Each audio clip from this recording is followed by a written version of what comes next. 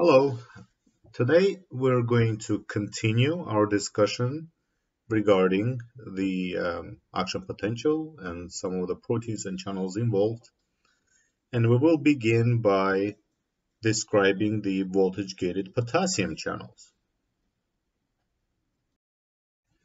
The experiments conducted by Hodgkins and Huxley indicated that uh, the falling phase of an action potential was explained only partially by inactivation of G sodium. They also found actually a transient increase in G potassium that basically functions to speed up the uh, negative membrane potential after the spike. Based on this observation, they proposed the existence of membrane potassium gates that, like sodium gates, open in response to depolarization of the membrane. But, unlike sodium gates, the potassium gates do not immediately open up. It takes about about one millisecond for them to open up. So in such a case, the potassium conductance serves to reset the membrane potential. Uh, and this is uh, this is called this, this is called um, a delayed rectifier. So it basically rectifies um, the membrane potential. Now we know that there are many different voltage-gated potassium channels Um, many of them open when the membrane is depolarized and for, uh, they basically stop further depolarization by giving calcium a path to leave the cell. The potassium channels that we know of, that we've characterized, um, have very similar structures. The channel protein consists of four separate polypeptide subunits which come together to form a pore between them, like what we've seen with sodium channels. And again, just like uh, sodium channels, these channels are also sensitive to changes in the electric field across the membrane. And when the membrane is depolarized, the subunits are uh, they, they twist into a shape that allows potassium to pass through the pore. At least that's the general consensus.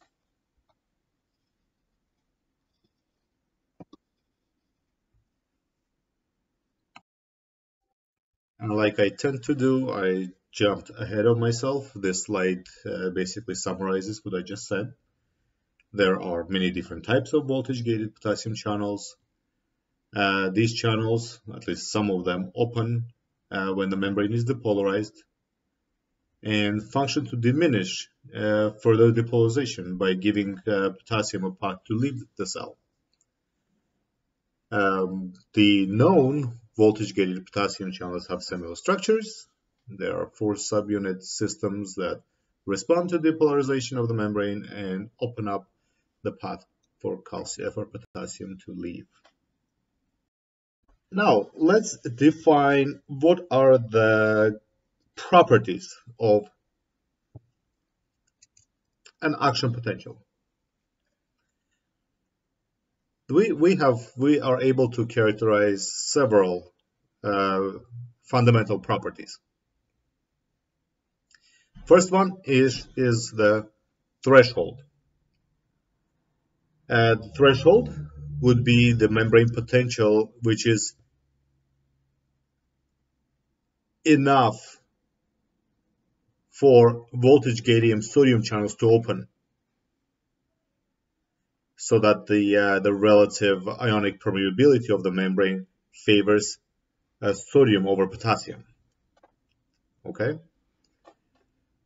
The rising phase, obviously, it's when the inside of the membrane has a negative electrical potential. Uh, there is a large um, driving force for sodium. So the sodium rushes into the cell through the open uh, sodium channels, causing the membrane to rapidly depolarize. Next is the overshoot. An overshoot is, um, is a result of relative permeability of the membrane that favors sodium. The membrane potential goes to the value close to E sodium, right? Remember, um, the the we have we have the value E sodium, which is greater than zero, zero millivolts. Then we have the falling phase. This is a result of uh, two types of uh, channels contributing. First is the voltage gated, voltage gated sodium channels inactivating. Second is the voltage, voltage gating potassium channels being activated, opening up. And there is a delay of that one millisecond that we talked about earlier. Um, the, there is a great driving force for potassium uh, when the membrane is, is strongly depolarized. Therefore, potassium rushes out of the cell through the open channels and therefore uh, causing the membrane to become negatively charged again or, or obtain a negative um, um, potential again. After the falling phase, we have an undershoot. The opened voltage-gated potassium channels add to the resting potassium membrane potential Now, at this stage, we have uh, very little sodium permeability. Therefore, the membrane potential is driven towards e, e, EK, so equilibrium potential of uh, sodium, which causes hyperpolarization uh, relative to the resting membrane potential until the voltage gating potassium channels um, become deactivated again.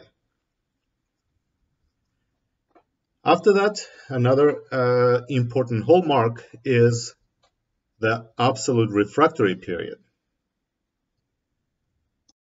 The absolute refractory period is when the sodium channels inactivate, when the membrane potential becomes strongly de depolarized, and this results in these channels being unable to activate again. Therefore, another action potential cannot be generated until the membrane potential uh, becomes sufficiently negative to de-inactivate the channels, basically uh, for the membrane potential to reset. So that's the absolute refractory period. But we also have a relative refractory period uh, this is when the membrane potential stays hyperpolarized until a voltage-gated potassium channel is open. Therefore, more depolarized current is required to bring the membrane potential to its threshold. Hmm. So th these are the um, the key properties of an action potential. Now let's look at it from uh, slightly uh, different perspective. Here we have our uh, modeled action potential in which we have the rising phase, the falling phase, and we know that the rising phase is associated with sodium, falling phase associated with potassium. Now we know that we have more than one sodium channels and we have more than one potassium channel. So, and we also know that uh, these sodium and potassium channels, uh, they can open up at different times and have a different time frame in which they remain open. So in this case, we have, for example, the first channel that opens up quite uh, quickly and stays open for a prolonged time. And then we have another one that opens up later and it stays open a little bit. And then we have the third one that opens up immediately um, upon, upon activation. So the outflux of sodium ions altogether is this integrated uh, sum of all of uh, the sodium channels acting together. And that results in the rise phase.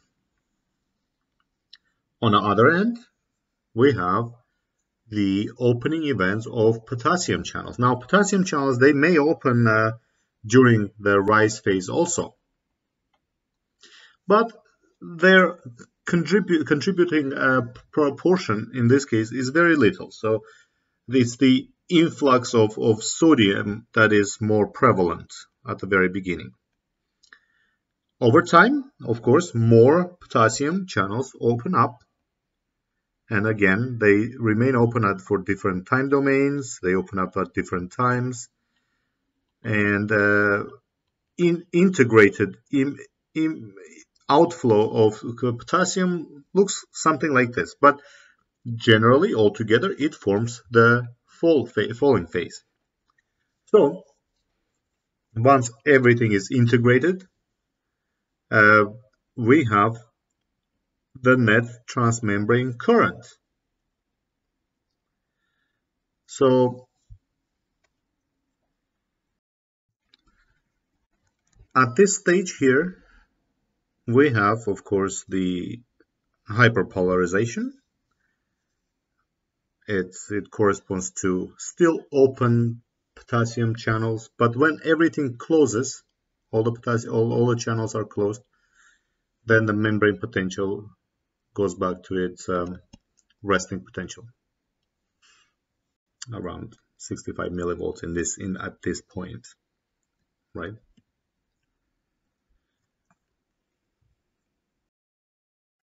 now that we know about action potential the uh, events that are involved in action potential and the channels that are involved and inactivation of these channels uh, from the previous lecture. Uh, we now need to look at the bigger picture and see how the information is actually conducted along the axon, how the information is transferred. So, as we have uh, stated already, it is important for the uh,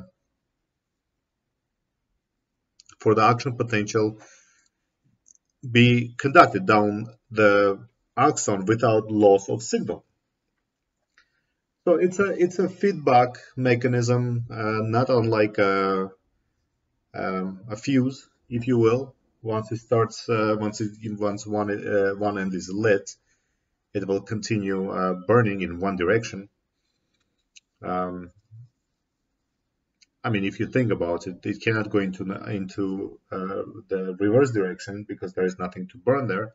In our case, in the case of neurons, it cannot go in that direction because the channels are inactivated.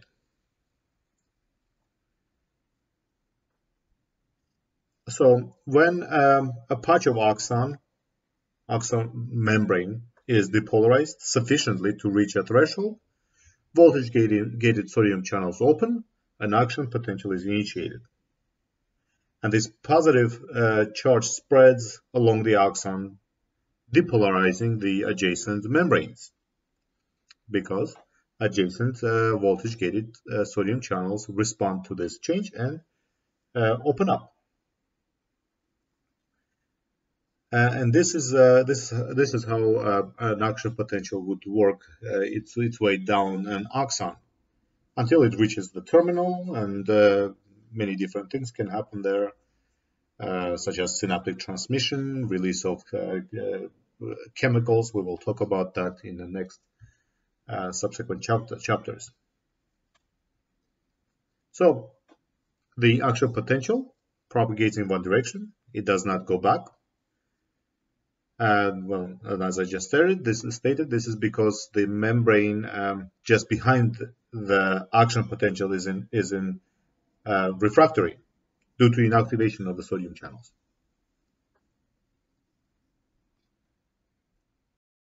And depending on where the action potential is originated, uh, it can propagate one way or another. The normal action potential, uh, well, shall we say, um, when an action potential is generated from the axon terminus,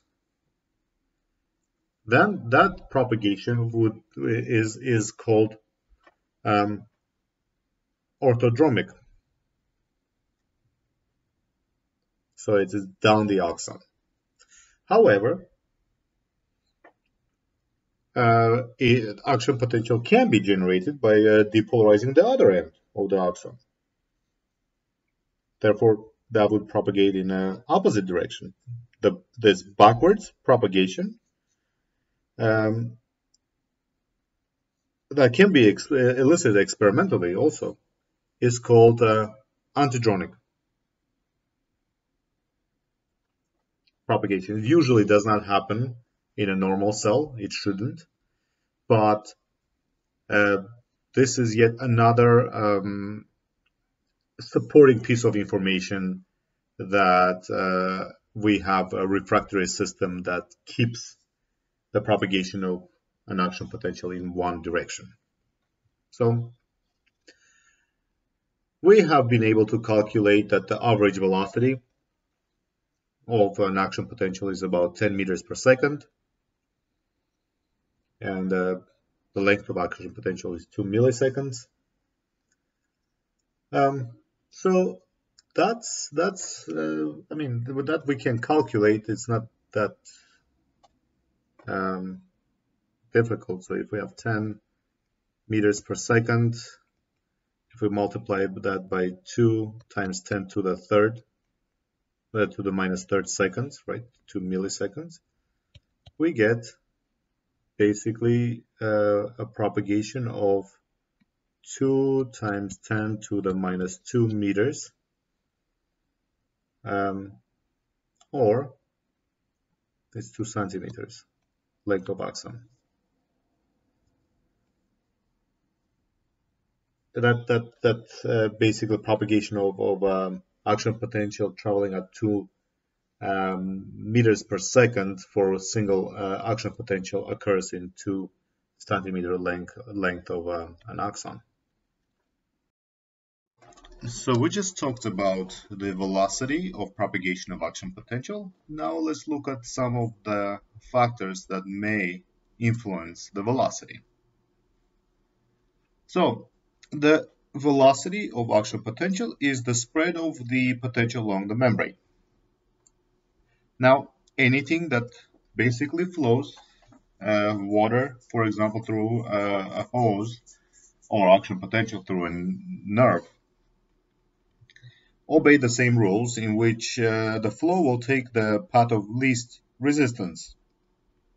If we have a garden hose with a lot of holes in it, then some of the water would leak out and if there is a large hole, then the water would most likely go through that hole rather than through the um, hose. Same thing applies to the neuron. If uh, we have a narrow neuron with many um, pores, then we would see a slow propagation of um, action potential. And if we have a, a large neuron, uh, a, a large axon, sorry, then the propagation would be faster.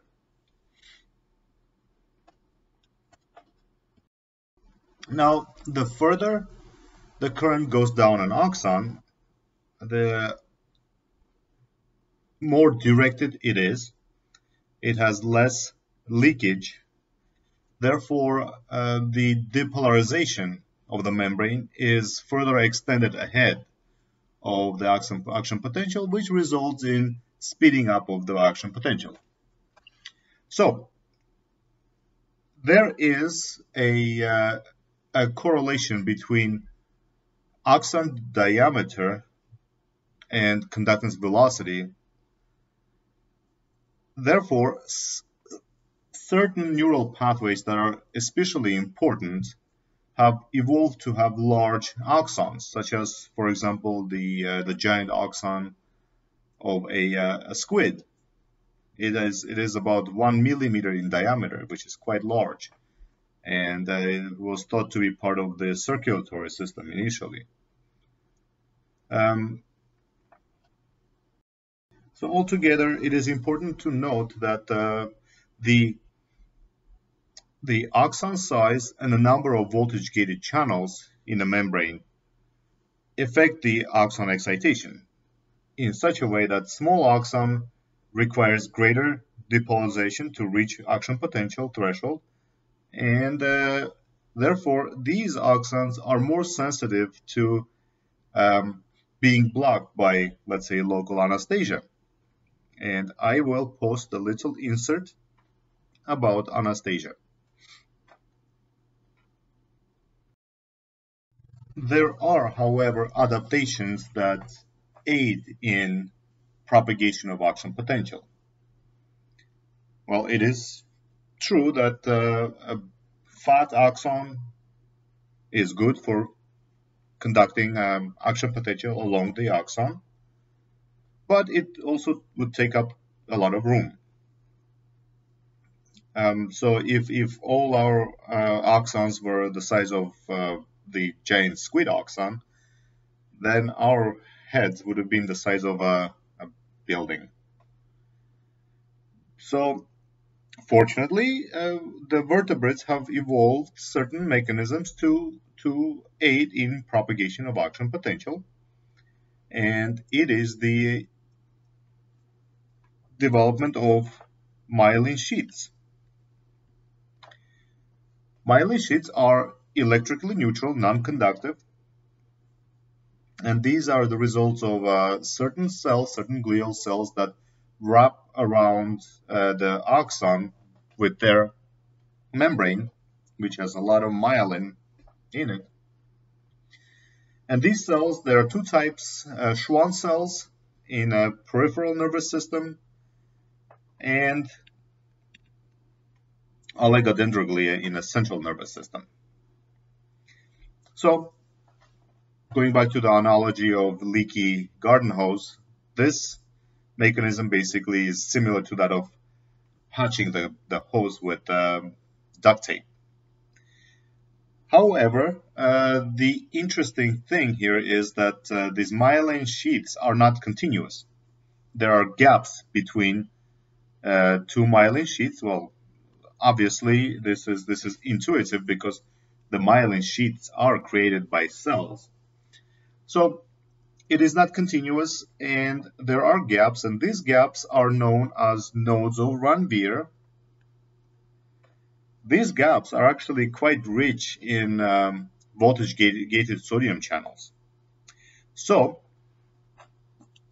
this gap gaps of Ranvier, which could be somewhere between 0.2 to about 2 millimeters. If you imagine, if this is the axon and we have myelin sheaths around them, we would have an accumulation of charge here. Um, accumulation of charge here that upon reaching a particular magnitude would jump from one node to another. So rather than uh, the potential going sequentially, it actually jumps from one node to another, one node to another. And that significantly increases the directionality uh, and uh, the speed of action potential. And this this this kind of an, a conductance of, of uh, action potential from node to node uh, is known as saltatory conduction. It comes from a, a Latin uh, word that, that basically means to skip. saltatory conduction. So here, to show this visually, um, we have nodes of Ranvier here, which are rich in sodium channels. When the sodium channels open up, sodium rushes into the, the axon, causes depolarization and up to an extent in which this depolarization causes a jump from a node to a node and this is um, and it, that in turn activates the subsequent voltage gated sodium channels and propagates the action potential along the neuron. So in conclusion, the action, action potential that we've been talking about thus far in this chapter are specific to axons. Um, generally, the membranes of dendrites and neurons, neuronal cell bodies, do not generate um, sodium-dependent action potential. Um, as such, they are not, um, they don't have too many voltage gated, gated sodium channels. Uh, so the only membranes that have sufficient voltage gated sodium channels are said, to have excitable membranes, which are found in um, axons. So, where does this uh, action potential generate? Well, it generates uh, um, right where the, the soma ends and axon begins, the axon hillock. Um, so axon hillock would be right here. Uh, and that area is also known as spike initiation zone. So this depolarization of uh, dendrites uh, causes the synaptic input from other neurons lead to the generation of action potential in um, axon hillock. In, in, uh, on the other hand, the sensory neurons, well, the, the action potential is not generated from the axon hillock because, um, well, it's a sensory neuron. The, the action potential generates at the sensory nerve endings, which in turn leads to sensory stimulation and uh, generation of action, potential, then further um, propagates along the axon and um, further stimulates uh, either intraneuronal response like we've seen already, uh, we discussed, or it propagates and or it propagates to the brain to be interpreted as uh, pain. So now you can see that uh, what we've stated previously, that, that there are difference in, in, differences in axons and dendrites. Now it's obvious that these differences are even on a molecular uh, level, on a, on a cell membrane level, on a cell protein expression level, um, and it's in the differences of the ion channels, and all of these basically characterize the electrical properties of the neuron. And in conclusion, let's recapture what uh, we started talking about in the previous lecture. Uh, so, what was it? The neuronal signal transmitted as a as a, an action potential action potential is self-perpetual, it's uh, renewable, it's uh, it keeps its amplitude, its its duration throughout the, the entire path. The magnitude is the same, it's only the rate of repetition and the uh, frequency, or rather the train of action potential that encodes the signal. We talked about an example of uh, puncture in the skin, which then uh, um, results in stretching of the nerves, certain nerves that are uh, sensitive to mechanical disturbances, which have channels that open upon stretching. Uh, stretching of sodium channels in turn results in uh, generation of action potential. And uh, action potential is propagated from the sensory neurons up uh, to the spinal cord. Um, and from there, it connects with interneurons, which can directly relay the information back to the leg to uh, allow retraction and also splits that information and conducts it uh, back to the brain uh, to be interpreted as, as, as pain. Because let's face it pain is a, a good thing to have. It keeps us safe. So we will finish with this and we will begin with the synaptic, synaptic transmission with the next lecture uh, in chapter 5. Thank you.